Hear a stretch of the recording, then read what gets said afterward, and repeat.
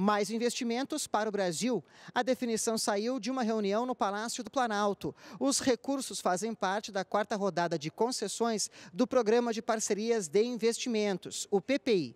Na área de energia, são 24 projetos. Foi autorizada a inclusão do leilão que nós vamos fazer no mês de junho de 24 lotes de linha de transmissão. Se todos os lotes foram bidados, nós estamos prevendo novos investimentos de aproximadamente 9 bilhões de reais e aproximadamente também 19 mil empregos diretos nas cinco regiões é, do país. Na área de transporte, são outros sete terminais portuários três de combustíveis no Porto de Cabedelo, na Paraíba, dois de granéis líquidos no Porto de Santos, em São Paulo, e dois no Porto de Suape, em Pernambuco, um para containers e outro para veículos. Cinco desses estudos já foram finalizados e agora é só uma questão de andamento do, dos trâmites. Para esses cinco, nós já temos um valor aproximado de 400 milhões de reais.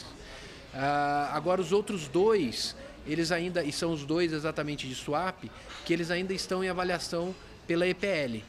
Então, para esses dois, a gente ainda não tem essa estimativa de, de investimento. Segundo o conselho do PPI, já foi executado 50% do cronograma do Programa de Parcerias de Investimentos. Isso equivale a 70 projetos concluídos, o que vai significar uma injeção de 142 bilhões de reais em investimentos no país nos próximos anos. Também ficaram definidos quais vão ser os papéis das empresas públicas no processo de desestatização da Eletrobras. A função do MME é basicamente a coordenação geral e a governança do processo. O BNDES vai fazer os estudos tradicionais, os estudos econômico-financeiros e alguns outros estudos que, que, que são privativos da Eletrobras ou que melhor ela possa executar serão contratadas por elas, mas sempre em consonância com os estudos é, contratados pelo BNDES.